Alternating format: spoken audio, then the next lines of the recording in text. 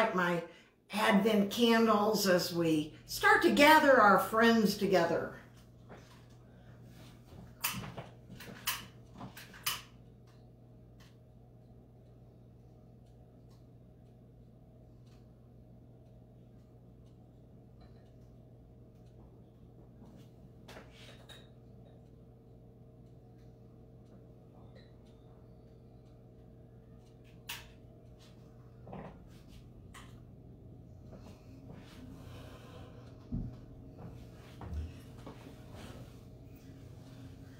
notice I've changed our location just a little bit. I've come into my mm-hmm. dining room. Wanted to have a different view maybe tonight a little bit. I wanted us to be able to share at my table where I love hosting and having friends gather. And so it is tonight on this last night of Advent, and it really is. It is the fourth week. Before we leave tonight, even though it would not be traditional, I will light my Christ candle. I will light the candle that symbolizes the day of. And I know normally we won't do it until Christmas Eve morning. But I want to share that tonight with you all because I think it's important. We do have the four candles burning tonight as a reminder that this is our fourth week of Advent. We're almost there. Today, I, I thought the weather really had taken us to winter. It was windy and it was cold, at least here. I know I talked to my son in Texas and he's like, Mom, it was 75. I don't know what you're complaining about. I'm like, I'm not complaining. I'm just stating the fact.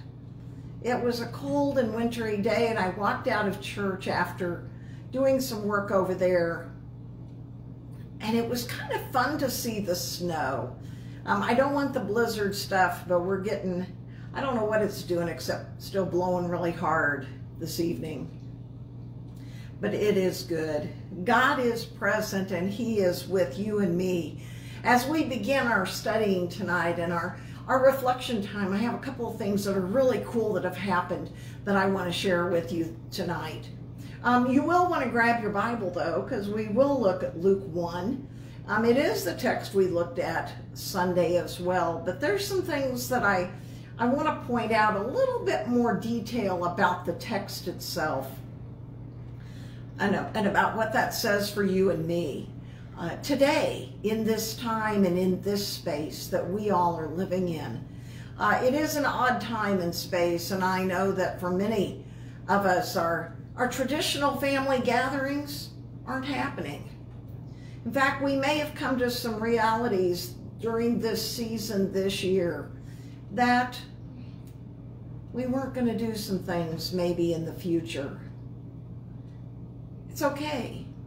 God didn't say we have to do the same thing all the time forever and ever. He really says he is present in all that we do, no matter when and where that is. But he is present with us. How do we make an impact during this season? I hope you've all had some times that you've been able to bless another, that you've been able to serve, in a way. I know that um, many of us serve in food pantries or have food boxes that we give out in our in our communities and those are amazing places to tell the story of Jesus. It is a time and a space to be able to say, God is here now. He is here in this food and in this time and space. He is present with you and me. So I hope you've had those moments or you've given to a uh, adopt a family or you've done something like that. I hope you have because the joy in doing that is what is in my heart phenomenal. Now I want you to know that starting next week, um, we're going to continue our Wednesday gatherings and uh, we will go back to Genesis again And so we'll pack, pick up where we left off, and I think that was in Genesis 23 or something like that. Um, I'll figure it out before next week. and we will pick back up and start Genesis again. Although I think tonight you're going to hear and see some references back into Genesis. And it, it is why I think Genesis is an important book, but why it's important to study and put it in context with old and new together. I think there's a, it's a sense of understanding that totality and of what that means. It is. Uh, so I want, I just want you to know that uh, that is the plans for the future. Also, um, tomorrow at 2 o'clock, um, we will be doing our Christmas service on Facebook Live. The beauty of Facebook Live is if you don't want to join us at 2 o'clock, that's fine. It'll be there when you when you uh, want to share in the fam hopefully family time of gathering to hear the Christmas story again, to understand how that impact was so incredible. Have you ever sat down at your table and wondered what was underneath it? And I don't have any animals, so I'm not sure what's there. But there's something, the rug is kind of uh, bobbled up there, probably just from chairs moving. But, um, yeah. So, again, you know, what we have to remember too is that as we enter Christmas season, you have to remember, we've only been in Advent. We've not gotten to Christmas season yet. Uh, once we enter Christmas season, we have 12 days. 12 days of doing things and being Christmas. Sometimes I think we get through the Christmas and we say, well, okay, it's already by. You know, we get through the 25th and it's like, well, we've already had Christmas. And we haven't had Christmas really yet. We have 12 days. That song is important, the 12 days of Christmas, because it lays out kind of what we are supposed to, how we are to tell the story. So it really is that it just begins uh, for us on Christmas morning. Uh, the story just starts. And yeah, I think sometimes we do want to wrap it back up and put it all away. And God doesn't go away in a box. He just doesn't. And, and I hope that you understand that. And, and I, maybe tonight, um, because our lesson is about the manifestation of the announced mystery, that's a big, those are some big words to have to get around. But I hope we understand our story is just beginning. It is just unfolding for you and me, just the start of it. Um, again, grab your Bibles. We're going to look at Luke 1. I do have, as we even get started, something I'm going to share that I, I found after, after our Hanukkah time. And I have to tell you, uh, Hanukkah this year meant so much more. And it was so different this year than in the past. And I really treasure, uh, treasure that time with you all and, and learning some things about myself and about a tradition that I am in awe of and the history behind it. And so I want you to know that um, I found something else. In fact, I'm, I'm going to go ahead and kind of get started. I'm going to start with this. Um, this is a story about a menorah that I'm going to tell you, read. And it's, it's not a pretty menorah. Uh, here's the picture. It's broken. It's not very pretty. In fact, it looks pretty ugly. And yet, you're going to hear a fantastic story about something ugly that becomes a beauty in the eyes of the one who received it. Like I said, I'm going to read this story because I can't tell this story any better. A young man named, named Abraham Greenbaum lost his entire family in the Holocaust. After the war, he came to America and wanted nothing to do with Judaism. He changed his name to Aaron Green moved to Alabama, and married a woman there who miraculously was Jewish. The day his oldest son, Jeffrey, turned 13, they were not going to celebrate his bar mitzvah. Instead, Aaron decided to recognize the day by taking Jeffrey to the mall and buying him anything he wanted there. When they went to the big electronics store and were browsing, Jeffrey's eye caught something in an antique shop across the way. He was mesmerized. He couldn't take his eyes off of what he had seen. He told his father, I don't want anything from the electronics store. I want to go across to the antique shop.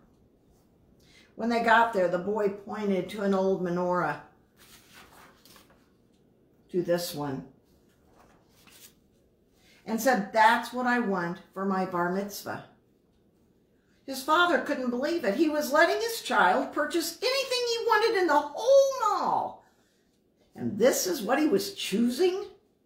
He tried to talk him out of it, but couldn't. Aaron asked the shop owner the price of the menorah. And to his surprise, the man replied, sorry, it's not for sale. Aaron said, what do you mean? This is a store. He offered a lot of money for it. And again, the owner refused, this time explaining, I found out the history of this menorah. A man constructed it during the war, and it took him months to gather the wood. It survived, but he did not. It's going to be a collector's item. It's not for sale. Meanwhile, Jeffrey kept telling his father, that's what I want. All I want is the menorah. So Aaron Green kept offering more money until the owner finally agreed to sell. The boy was so excited. He took the menorah up to his room and played with it every day. One day, the parents heard a crash from Jeffrey's room. They ran upstairs and saw the menorah shattered to pieces. As he paid so much the father yelled at his son for being so careless as he had paid so much money for it. Afterwards, Aaron felt bad about his reaction. He suggested to his son, let's try to glue it back together. While holding one of the pieces, the father noticed a piece of paper wedged inside. He pulled it out and started reading. Tears welled up in his eyes and soon after he fainted. His family threw water on him and revived him. What happened, they asked. He replied, let me read you this letter. It was written in Yiddish, so I'll translate. Yiddish is a, a, a form of Hebrew. It's the slang, um, slang more, more slang of Hebrew. To whoever finds this menorah, I want you to know that I constructed it not knowing if I would ever have the opportunity to light it. Who knows if I will live till Hanukkah to see it being kindled. In all probability, going through this war, I will not. But if Providence brings this menorah to your hands, you who are reading this letter promise me you will light it for me and for us, for my family, and for those who gave their lives to serve God Almighty. Aaron Green then looked up at his family and in a choked up voice with tears still in his eyes said, The letter is signed by my father.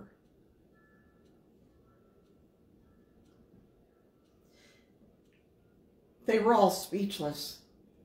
That family recognized the divine providence involved. How could they not?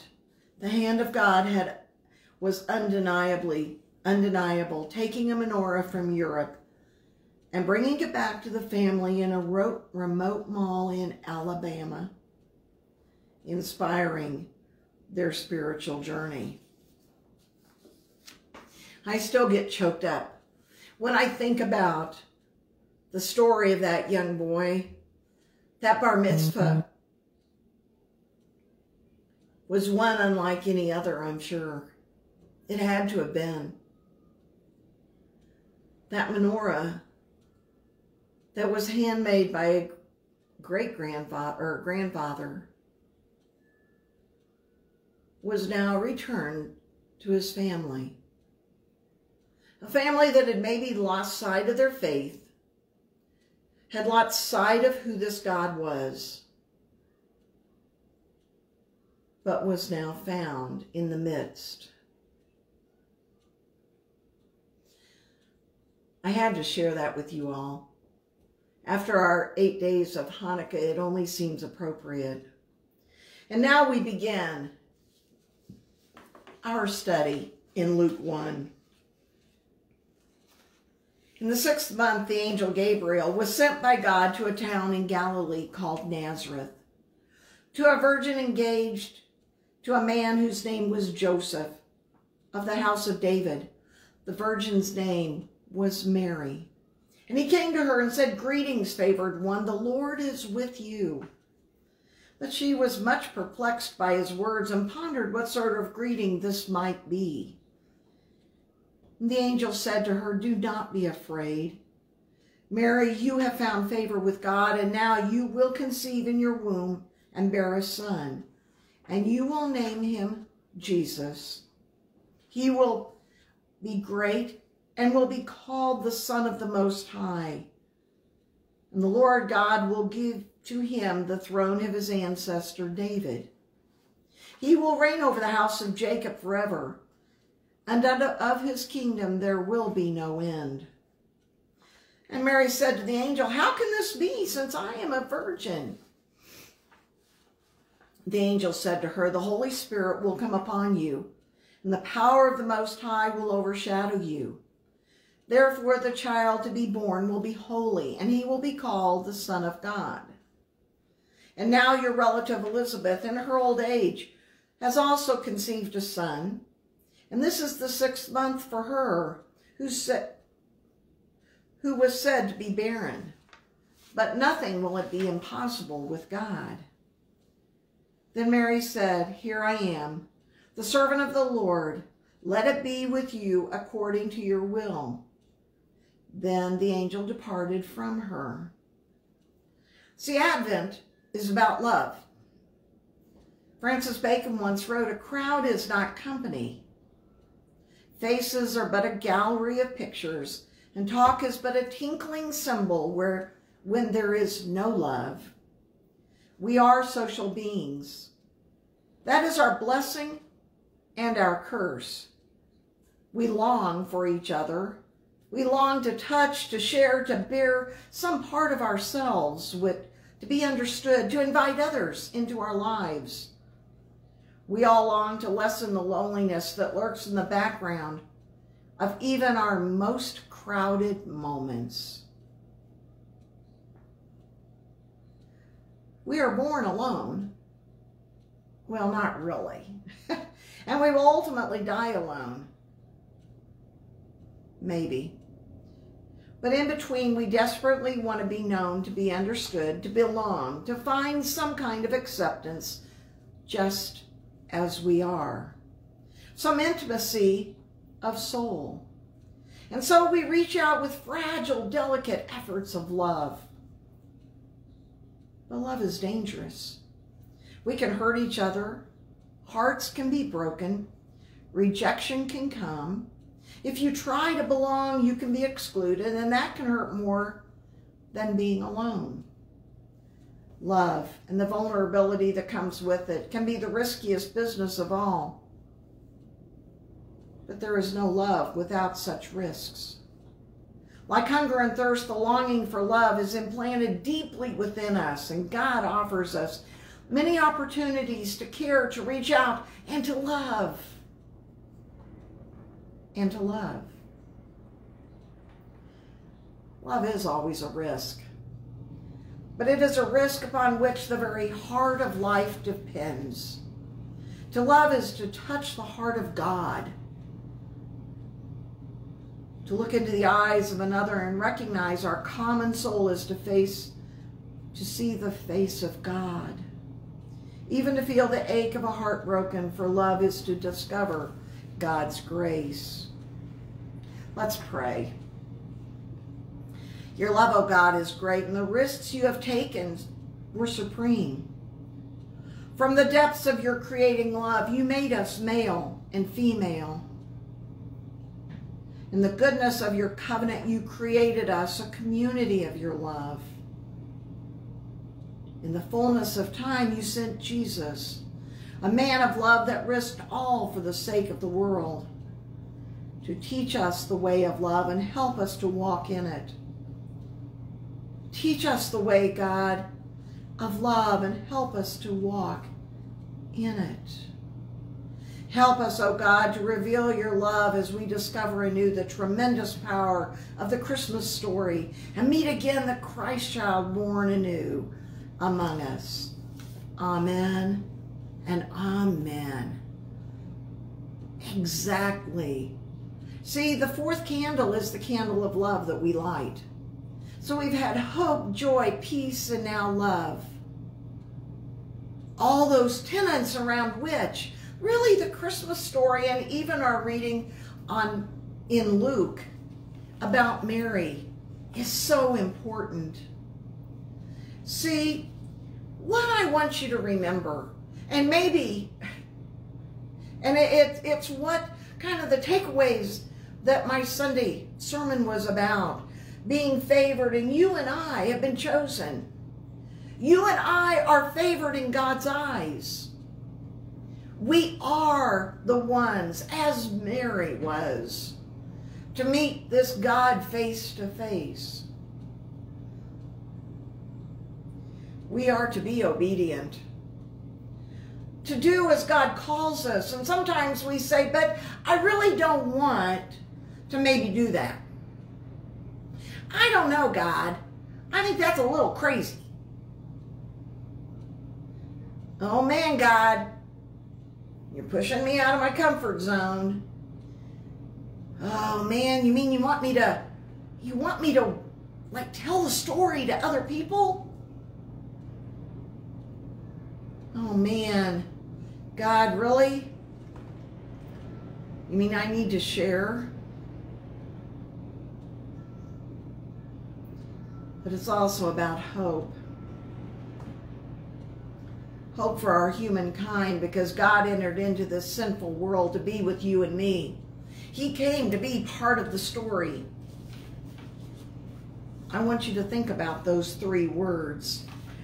Favored, obedient, hope. How do they fit into the whole Christmas story, into our Advent story? How does it all fit? How does it fit when we are called to go witness or to share with someone who has less or who doesn't live in maybe as clean a house as what you and I maybe live in? For someone who has little to nothing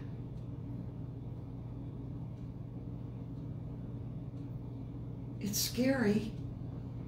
I will, will share that one with you. There's times I've walked up to doors not sure what's on the other side and how I'm going to be received.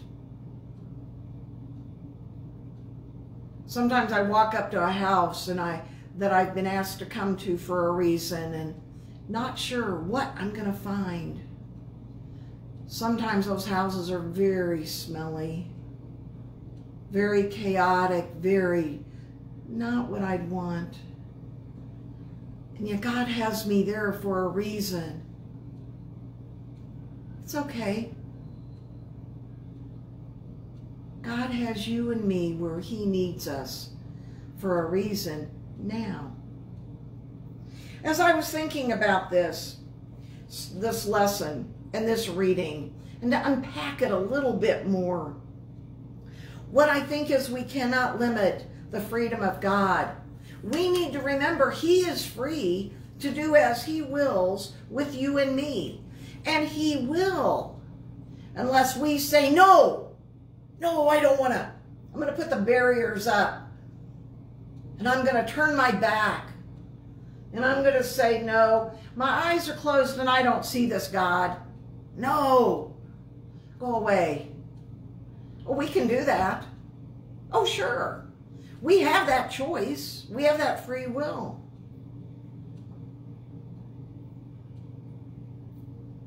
You know, even temples, magnificent temples and places of worship don't confine God.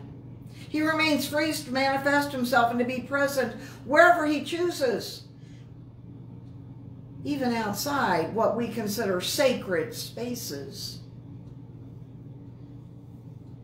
He finds us in the places we maybe don't want to be found.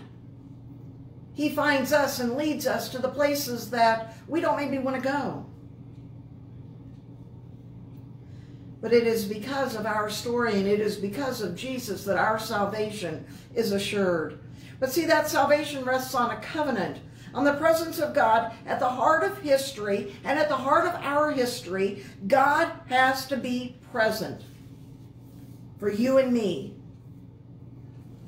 See, as I was studying this, I kind of looked at Psalm 89, and you can go back and look at Psalm 89 let me read it to you, parts of it. Forever I will sing the goodness of the Lord. The favors of the Lord I will sing forever. Through all generations my mouth shall proclaim your faithfulness. For you have said, My kindness is established forever. In heaven you have confirmed your faithfulness.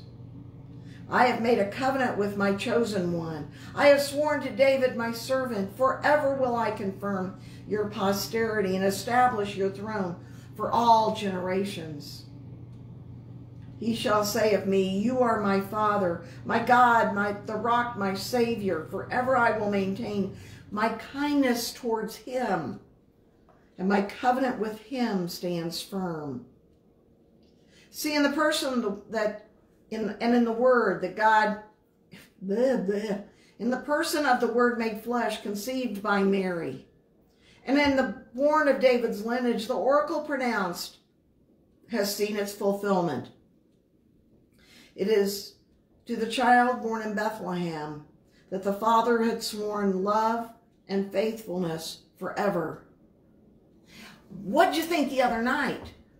On Monday night, the Star of Bethlehem, the interlooping of the two planets that came together for Saturn and Jupiter.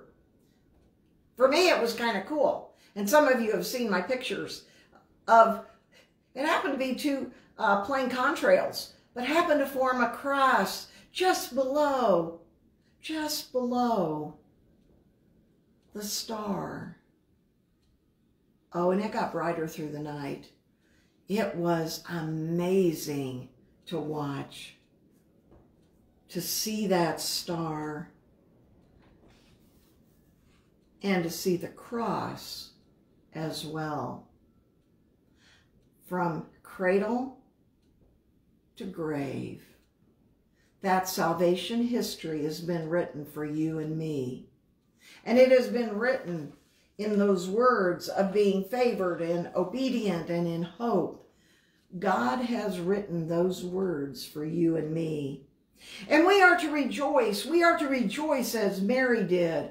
Not be afraid to, we need to be full of grace, just like Mary was. See, she may have wondered, but the angel said, do not fear. Now remember, in Genesis, we, we looked up how many times do not fear shows up in the Bible. 365, one for every day. Do not be afraid. Do not fear. Do not be afraid of what God is going to do for you because he has said enough times for you and me each day to hear that story. Because the Lord is with you. He's, the angel says to Mary, but he says it to you and me as well. The Lord is with you. Do not be afraid. I am here. I'm with you every day. See, I put it in the Bible that many times. You can count on it. Jesus actually means God saves in Hebrew, out of Hebrew. Son of the Most High, Son of God. It is not a question on who this God is. He saves his people. Salvation is there and present for you and me in the, in the story to Mary, in the promise to what Mary hears. The Holy Spirit will come upon you, the angel says. That's also said in the Old Testament. The Holy Spirit will come upon you, and the power of the Most High will overshadow you. It is in the Old Testament as well. You know, what I think is kind of cool is that, in a way, in a way, I think it is as as God is cloaking Mary and getting her ready. Think about a mother bird. A mother bird, after babies have hatched, she's still got to watch them though and keep them close. And so she kind of herds them in and gets them and sits on them. Well, maybe not sit. Well, I think they kind of do. Gets them underneath them. And they are protected. They are they are shadowed with wings. They are cared for and nestled in. And I, I feel like that's what Mary was. She was being overshadowed with the wings of God. And isn't that an awesome image that we also can take on? We are the favored ones as well. We are carrying the story of grace and love and mercy. We are also covered in our baptism. We are covered. You know, think about this. Think about that in Genesis, okay, again, we go back to that. The waters, the breath of God and the Spirit moved over the waters and everything was covered with water and God then blew it apart and said, no, I'm going to take, give life. See, it becomes important for us to remember those stories of old as well. It's about a relationship.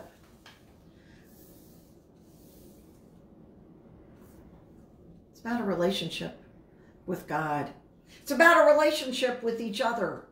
That how do we build that relationship? How do we sit and talk with another? I have to share. The other day, I, I made a visit in Kansas City and with a friend, with a friend who we discovered her roots are here at Salem, but she ended up with her family being in Kansas City, but her, her familial roots are back here. And as we started talking, one, it came to my attention that um, she had all her life attended the church that I was baptized in. That I attended many, many Christmas services at. Attended many, many Sunday services because we went to church with Grandma and Grandpa a lot. She knew all the people I knew. She knew my cousins. She knew my family. And I already knew that we had gone to school, to the same grade schools and junior highs and that kind of thing. She's younger than I am. But her brothers were in the same class. Her brother was in the same class with my brother.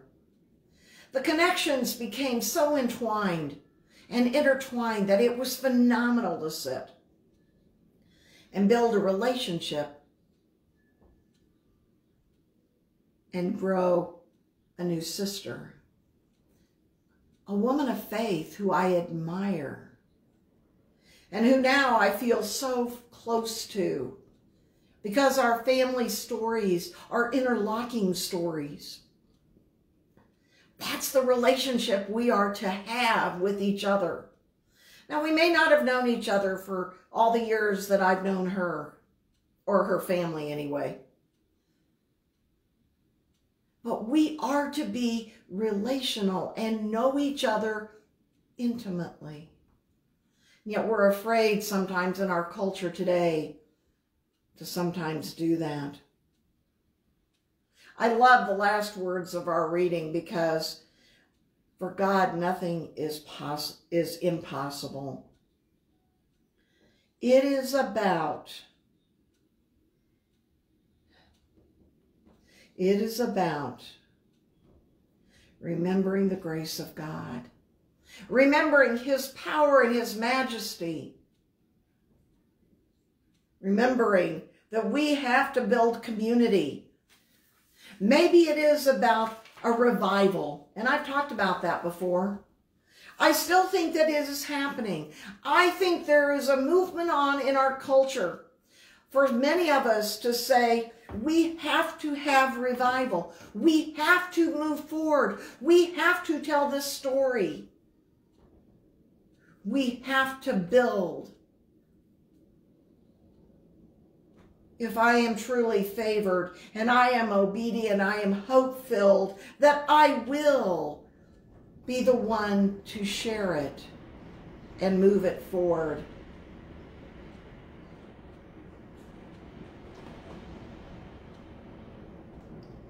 Let me read one more reading. Do not be afraid, daughter of Zion. The breath of God has filled your life. In you, the Most High takes on human form. Virgin Mary, God makes you his dwelling place. Blessed be the Lord, the great King. His house will be rebuilt forever. Virgin Mary, God makes you his dwelling place. The Lord fills the heavens and the earth. What house can be built for him? Virgin Mary, God makes you his dwelling place. The Lord is our God and we his people. He is coming to dwell among us. Virgin Mary, God makes you his dwelling place. Is God welcome? Is God welcome to come into your heart and into your house? Will he come? Is he with you? I know he is, friends. I also know sometimes it's difficult in the world we live in to stay hope-filled. It's even hard to stay obedient. But remember one thing in being a Christian, it means of Christ, anointed by him with the grace of God. It's a name full of promises for you and me to be Christian. But maybe more so, there's a huge responsibility that goes with that title. My dear friends, we are called to share, to be. It is on this eve of Christmas Eve. We're going to light the my Christmas candle. We're lighting it because we know the hope and the promise of yet to come. Tomorrow afternoon or tomorrow evening, when you when you can, share in this joy. Come. Come and be. Like I said, 2 o'clock, we gather for worship. Oh, I have a candle that went out. But at 2 o'clock, we celebrate and remember well this Jesus who came to light the world to live eternally. And salvation is ours. On this night, sweet prayers to each of you. I hope you have safety in these days ahead. But come and visit me tomorrow at 2, Sunday at 10. Um, we'll be having a hymn sing during church time. So if you want to sing all your favorite Christmas carols, come and join us then. My friends, have an amazing evening. God loves you, and so do I. Have a great evening.